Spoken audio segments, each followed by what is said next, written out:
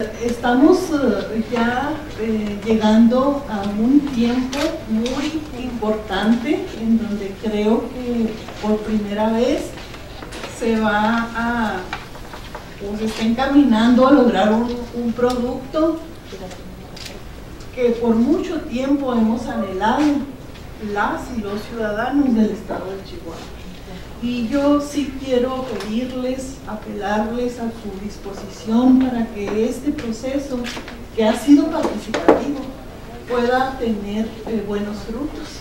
Como una ley de participación ciudadana va a venir a desatar ejercicios que nos puedan facilitar esta construcción de ciudadanía, este involucramiento en los asuntos públicos, para que verdaderamente pasemos a otra etapa de una calidad de la democracia. Este, tenemos este documento, les vamos a sacar copia y se los entregamos, donde nosotros tenemos específicamente las propuestas de organizaciones civiles como Política, como Plan Estratégico, como Secretaría de la Función Pública, que ya están integradas. Ya están, de hecho hemos estado trabajando por aquí con, con el licenciado Piñón.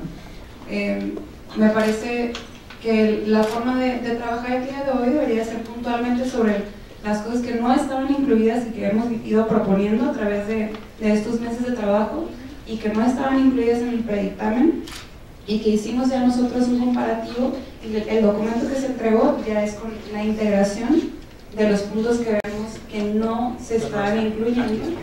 Entonces, el día de ayer tuvimos una, una rueda de prensa donde hablábamos justamente de que no queremos convalidar un predictamen por parte de las organizaciones, un predictamen o un dictamen que no vaya en el sentido que venimos discutiendo. Si lo hemos discutido, no lo hemos visto reflejado en, íntegramente en el dictamen. Tenemos puntos muy claros que quisiéramos que estuvieran integrados. Ustedes los pueden trabajar, pueden abrir una mesa técnica a la cual estaríamos gustosos de integrarnos también, pero sí vamos a darle seguimiento puntual a los siguientes puntos. Exigimos que esta ley donde, donde existe, exigimos una ley donde existan los mecanismos para que nuestra voz sea realmente escuchada.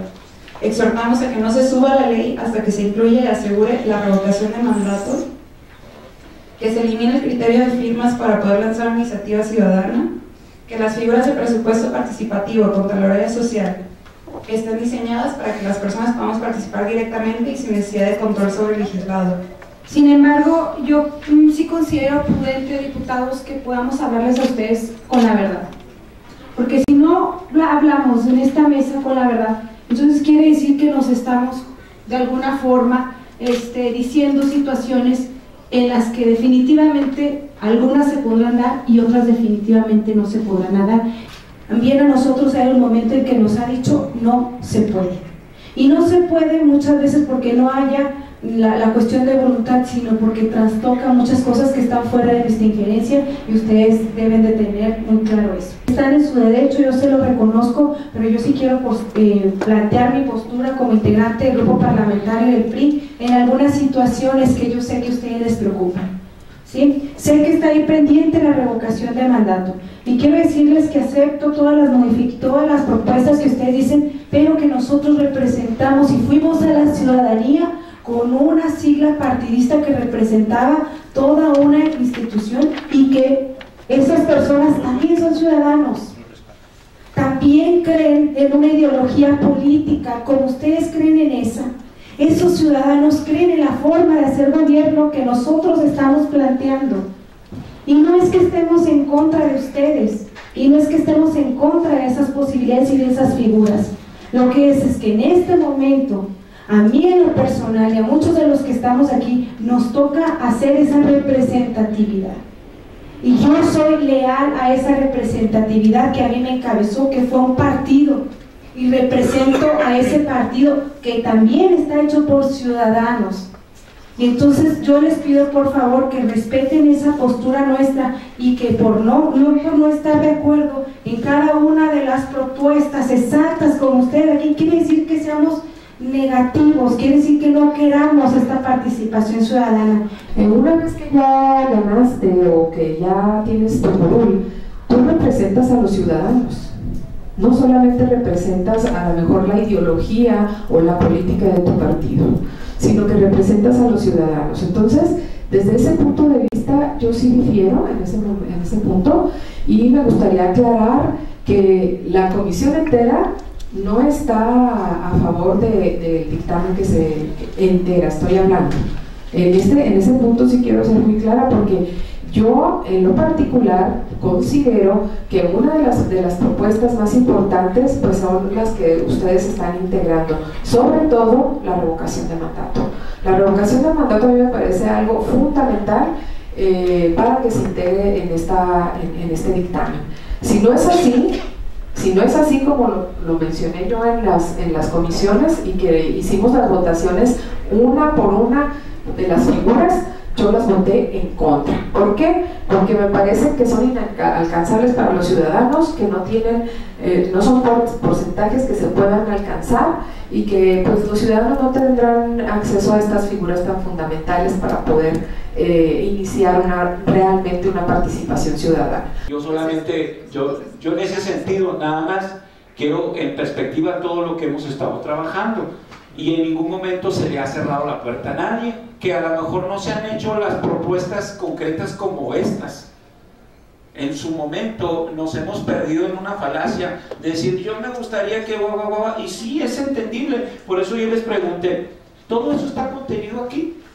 Que esté contenido aquí nada más para que mañana no van a decir, es que se nos olvidó una coma y diputado también meta una coma. En ese sentido creemos que es una falta de respeto para la comisión.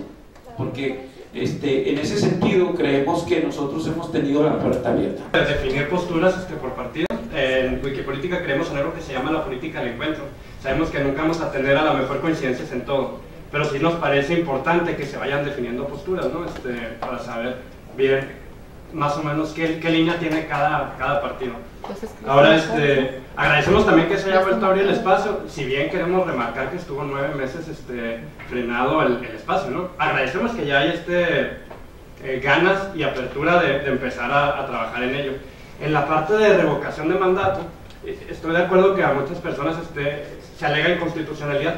Previendo eso, metimos dos transitorios para que la figura empiece y entre en vigor una vez que en el Congreso Federal, que estamos seguros que en este año pasa en el Congreso Federal, en este mismo año se reforme y entre en vigor al día siguiente de que pase la otra. Previmos eso a nivel de la constitución local y a nivel de la ley una vez que esos cambios se vayan haciendo. Entonces con eso podemos blindar un poco esa parte. Pero lo que sí queremos es que la figura ya esté por escrito, que ya venga ahí. Yo les pediría que tuviéramos una, un acercamiento con nuestros asesores para que ellos les pudieran plantear de manera ya personalizada por qué nosotros tomamos ciertos criterios en algunas figuras.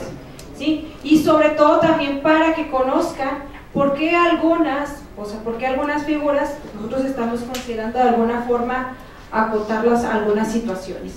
El mensaje de plan estratégico viene así.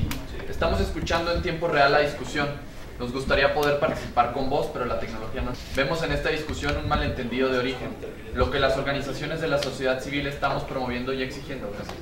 No está en ningún momento confrontando o buscando reducir la representatividad de las personas que han sido electas popularmente.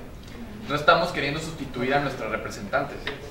Las herramientas de democracia directa y temas tan trascendentales como cabildo abierto no tienen como fin poner en riesgo o disminuir la importancia de la representación popular, como escuchamos a la diputada Sáenz mencionar en su participación.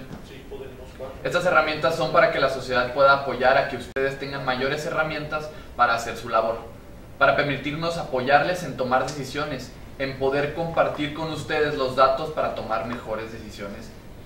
Y queremos ayudarles. Hemos sido muy claros durante todas las mesas en las que hemos participado la experiencia de la apertura en Cabildo en Juárez es un ejemplo de que la participación ciudadana es una herramienta para mejorar la representatividad y no para socavarla. Esto. Sí, gracias. Muy buena participación. Bueno, ¿qué les parece si ya aterrizamos lo que es el...